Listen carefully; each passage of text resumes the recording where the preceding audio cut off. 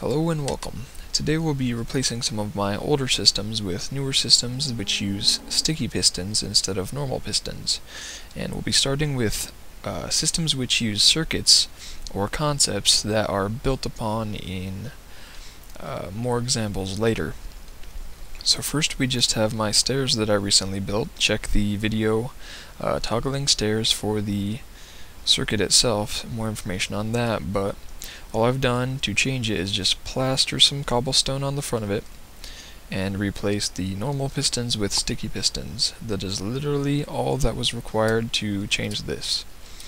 No circuitry changes required at all, and then we just flip our button and the stairs that are now hidden in cobblestone come out and then when we flip our button again they go back in and of course as always you can do it on any input at all. So we can do it there, come down here, flip it back off, etc. And so that's pretty simple. All you have to do is just, as I said, plaster any sort of block camouflage that you want over top of your pistons and your wall, and you'll get a sort of hidden set of stairs.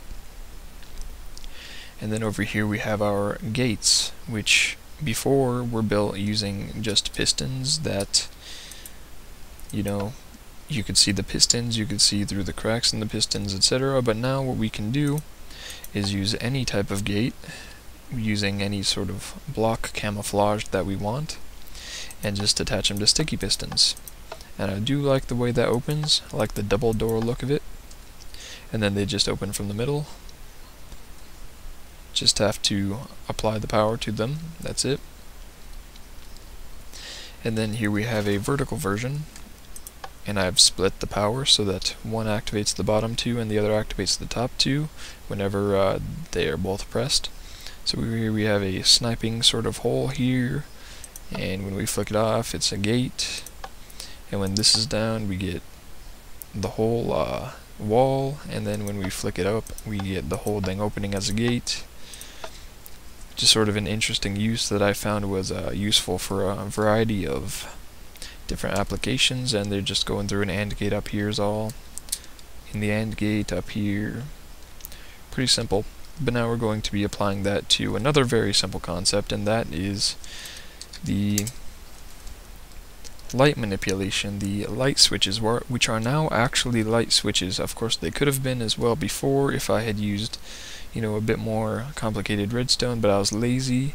But now we have the same redstone circuit from our stairs that I just applied to two pistons here for a toggleable light-proof door since normal doors let in light. And the output is just coming down same output that went to the stairs before and it's just applying itself to a inverter to make sure that it's always on. And then uh, our input is here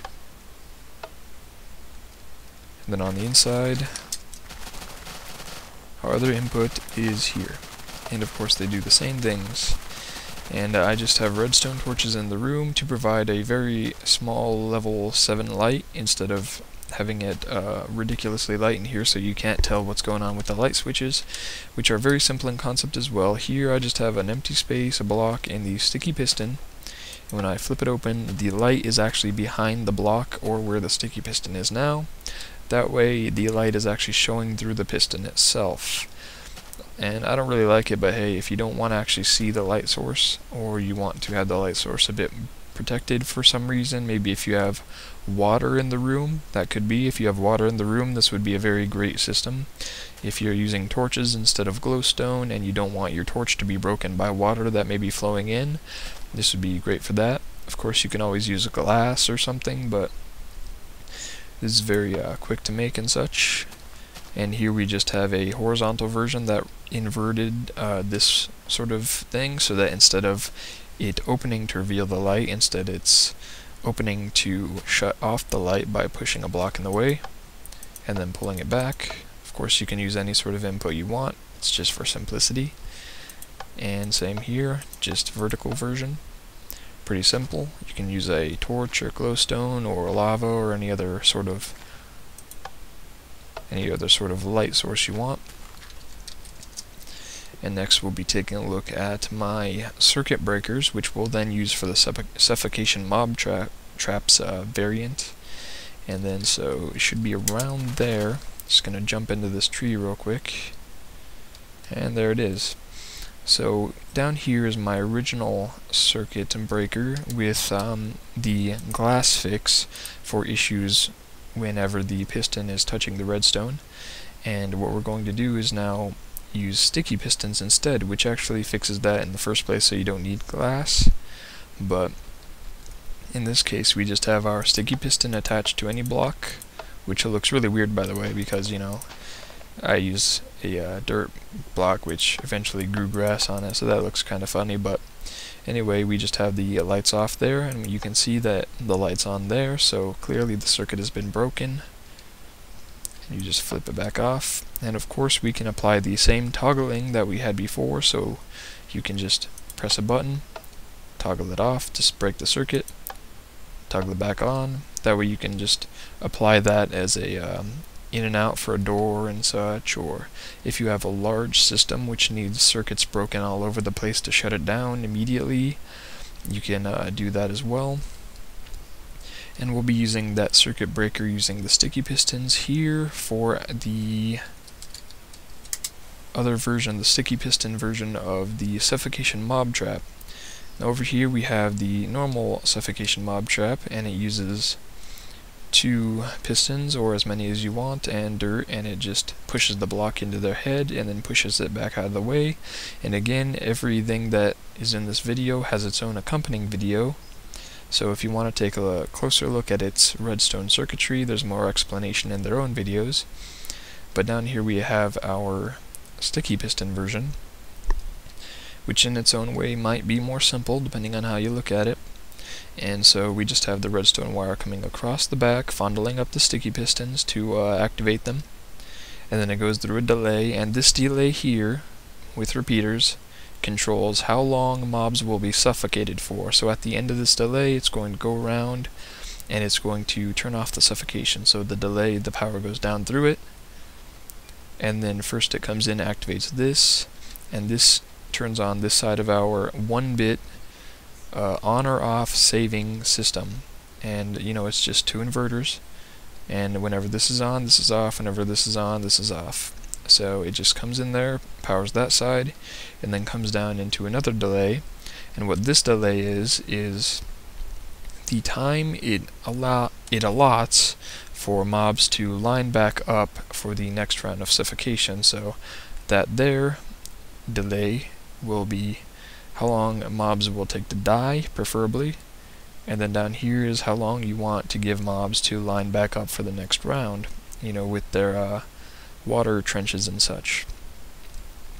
And then the power from that's coming on, activating this here uh, other side of our 1-bit saving system thing, and then just going around and then activating our pistons again. So it's just, this is the output, and then that's sort of the input in a way. So it's just looping like that. And of course in these automatic systems that just keep going constantly you always need a kickstart to uh, begin the system whenever you log back in because as you see we have our values being saved on these sides here when we don't want them to. It should be continuously going. So in order to kickstart our system I have a circuit breaker and a button to power it because if we had some power over here all we would have to do is just close the circuit and start it back up and that would send the pulse down and then we would just close it back up again and wait until the power dies down until everything sort of settles and all the power reaches its uh, you know static state. But whenever we don't have that what we can do is just flick the button on to send a pulse down, break the circuit, wait until everything dies down. There we go. And then we can just start the circuit back up. And as you see the power is coming down. Yes, and it's just giving them time to line up, suffocated, line up, suffocated and of course you're going to want it to be a lot longer delay than this but for examples this works quite well And um, if you have a smaller system, I don't even use something like this. What I do is I just break the one or two repeaters or whatever because for example on this system we just have you know one or two repeaters worth of power and I just replace them and you can probably do that down there you know I accidentally missed one here I guess. But uh, you can do the same thing down there most likely by just replacing one or two bits of redstone or whatever. But you know I prefer to just use the circuit breaker and not have to worry about that sort of thing. And so that concludes the sticky pistons um, replacements and now I just want to show one more thing that is a bit unrelated. And whenever I was looking at the trash compactors I was reviewing all my videos and finding out ways I can replace the pistons with sticky pistons and when I came to the trash compactors I had an idea of replacing the pistons with a sticky piston and a block on top of it. That way we could avoid the problems that I mentioned before where if you threw the items in the back and pressed the button they wouldn't fly. And the same thing with the horizontal version. The items would not fly forward unless they were dead center. I mentioned that before, but now I found out that it wasn't even necessary because you can actually, it's been fixed now. And it wasn't fixed before, but now in the newer versions, it's been fixed. And we can send them into our preferred destruction method without worrying about any fixes, such as, you know, replacing it with a sticky piston and a normal block. So that's really great to know and um, I would still naturally recommend a safer alternative such as this or this. Again, watch the videos if you want more information, but you know, it's uh, it's great. It's been fixed. Just thought I'd uh, mention that, you know, instead of um, instead of people using the um, systems they don't prefer just to avoid that problem. So uh, that should be about it for this particular video, and I'll see you next time.